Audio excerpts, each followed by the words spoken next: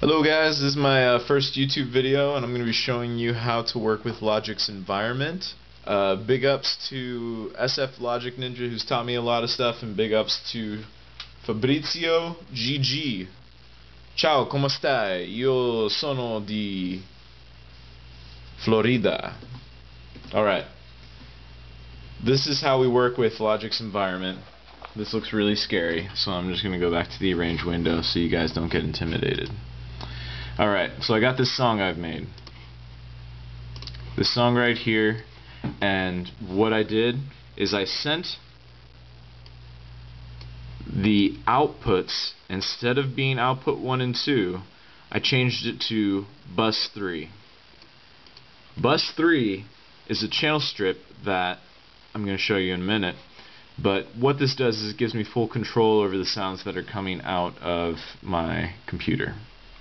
Alright. This is the environment. This is something I set up. What you're going to do is you're going to go here, create and create layer. You create the layer, you can name it whatever you want. Mine's echo and pass. And what you're going to do is you're going to make a new instrument. You're going to make a new fader. You're going to make two monitors. You're going to create five transformers and that's pretty much it. Oh, and a sequ sequencer input. So this is the in instrument, this is the fader, this is the monitor, these are my five transformers, this is my channel strip that is bus 3. This is my monitor, and then this is all connecting to my sequencer input, which you don't see here. This channel strip, I've made an echo and a channel EQ, and a limiter to protect the sound. Alright, so here we go. I'm going to open up the channel EQ. I'm going to open up the echo. Now what I noticed Fabrizio did is he had the Q setting on the channel EQ. First he turned this on. And he turned the Q to 2.3, which is at the bottom. Then what we're controlling is the frequency. Okay?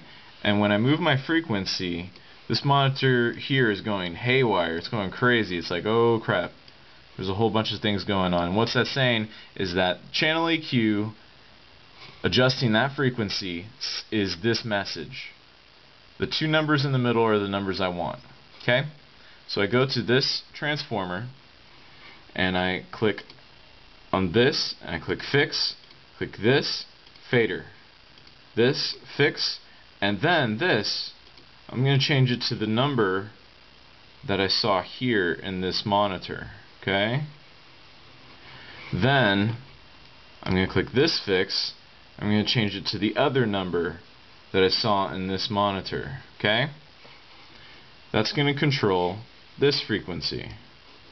But now I want this frequency. And when I move this, now my monitor is going haywire again and it's saying 429. So I'm going to click this one, fix, fader, fix 4, fix 29, and I'm going to put this on reverse.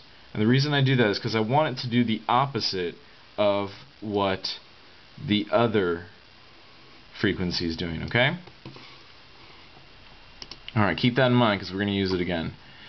Now this one right here, this transformer, I'm going to control the wet echo. So when I move this wet echo, I'm getting a whole bunch of numbers here. 3 and 20 are my numbers. So I go fix, fader, fix 3, fix 20, and keep this at through. Okay? Now, with the repeat, I'm going to move the repeat, I'm getting the number 317. Alright, so here, fix fader, fix 3, fix 17, through. Okay? Close. Now, when the wet signal goes up, we want the dry signal to go down. Okay? The way to do that, click on this transformer, fix fader, fix 3, fix 19, because those are the two numbers that came up in the monitor, and then we want reverse. Click this, reverse, because we want to do the opposite of the wet and dry, the wet and repeat. Alright, that should do it. Now what we got to do is we got to go over to our arrange window and we're going to create a new instrument. This instrument right here is already created and then you're going to control whoops, control click to make it look like that and it's going to say reassign track objects. Yes, that's what we want. I'm Going to go to our layer that we created. I'm going to click instrument and that's going to give us this nifty little fader here which we're going to end up being able to control with with any of your MIDI inputs. You just have to make sure that you're not this track, but you have to be on this track in order to control it. If you know how to not do it that way, then let me know um, so that I can do it. Alright, so now we're going to play it. Let's see what it sounds like. This is my little track.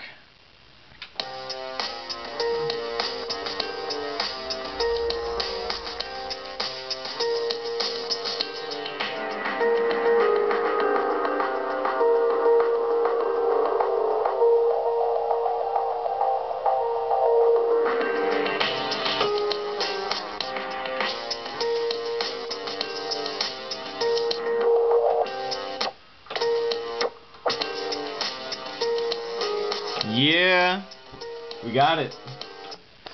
Alright. If you got any questions, let me know. Um, if you have any suggestions, let me know. And if you just want to say what's up, let me know. I'm down for that too.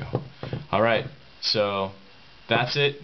Shout out to SF Logic Ninja. Shout out to Fabrizio GG, who's the one that I watched in order to do this. You guys should check it out too. It's pretty neat. Alright, ciao.